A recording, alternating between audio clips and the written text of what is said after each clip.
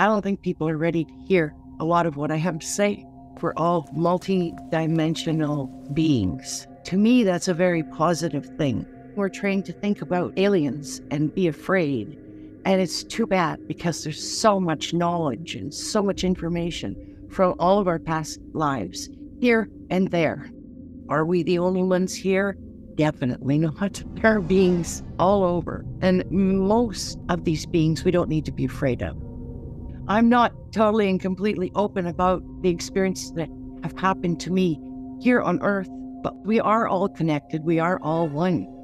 My near death experience really showed that. Long story short, I slipped on ice. My feet shot up in the air. I remember being in the air and knowing that this was not good. This was not a good situation. Like, I don't even remember my full body coming to the ground it just immediately turned into this place where it was fairly dark. And I had the feeling of, where am I? And then kind of a relaxed feeling of, oh, I'm here, as if I knew where I was. And I noticed how quiet it was. It was so silent. The quietness is so calming and peaceful. I had this feeling of gently floating. Suddenly, energy in my body just went up and out. It was like I expanded in every direction, up and down and back and forward. The feeling that accompanied this was that of pure love. There was nothing to worry about. I recall having the thought I could just stay here forever and never need anything else which most humans think, oh, that sounds awful. But it was just that wonderful. There was nothing else needed. Everything was there. So I could see in the distance a bright, bright white light coming towards me and getting bigger.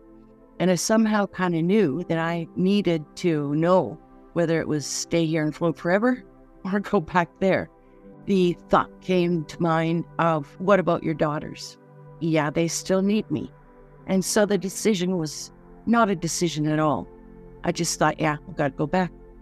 And with that, I was just right back in my body.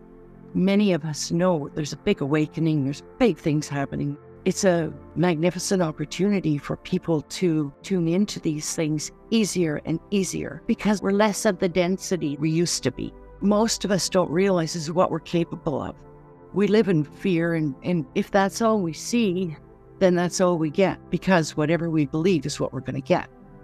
There's a way of looking at this from the scientific point of view, which is everything has consciousness. Every little cell has a consciousness of its own, and it can be affected by other consciousnesses. So if a human looks at a cell under a microscope and sets an intention on it, then the intention is going to be what happens if it's a strong enough attention with a high enough frequency behind it. Now, if you take that to a human being in its totality, it's the same thing. If the energy that we are sets an intention and holds high frequency, the probability of that coming to be is very, very high. And many people allow doubt to come in, and we think, oh, probably not. Then that's what we're going to get. And we know all this and we've heard all this, which I believe that that can really be true, that we can be that powerful, but we are, each and every one of us, each and every one of us. And we have the power to make our life miserable or the power to make our life absolutely exquisite. Most of us struggle with that because of the belief, the, because of the faith. It's it's not even belief because it, it goes deeper than that. How deep your faith is is what you're going to get. Reaching a frequency and a vibration that is free of fear is so powerful. Most of us have spent most of our life being afraid, being afraid of this, that, and the other thing. And I know I'm strong. I know I'm powerful. And I know everyone else is too. When we get quiet inside, it's an opportunity for us to hear the whispers of our soul or the wisdom of the universe. We're always given perfect guidance on what to do in any given situation. But most of the time, we've got so much going on in our mind that it's very hard to hear the whispers. Does that mean that we will all be safe from everything always? No. Mostly because we get in our own way. We also have life lessons, so there's there's a whole lot that can come into it. But if you're ever in a situation where you don't know what to do, you can always ask for help and be quiet, and you will hear the whispers. People always want to say, How can there be a God with the bad things that go on in the world? And yes, there are things going on, and there are people with intentions that are not not positive. In this time, what's very important to recognize is that as we progress along this path, we will see more things going on in the world that are viewed as bad. And, and really, it is just people who are striving for power. Because if people are striving for power, their intention is never good. We will see them come to light because it can't be hidden anymore. With all the light that we have on this earth now, and all the people who are waking up, these darker individuals cannot hide. They will have a light shone on them. So we, the news will hold some nasty stuff. Just know that it needs to come to the light in order for it to be stopped. Eventually, we will have our paradise on earth. It's been out of balance for a long time. The darker energy has had control, but now it's a very different experience. It's changing, and the lighter, more loving experience of being a human is at the forefront. And that's a beautiful thing.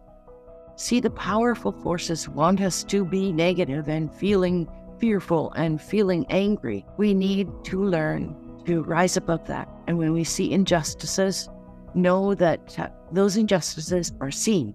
Those people will be accountable for their actions. If not here in front of us, they will be somewhere.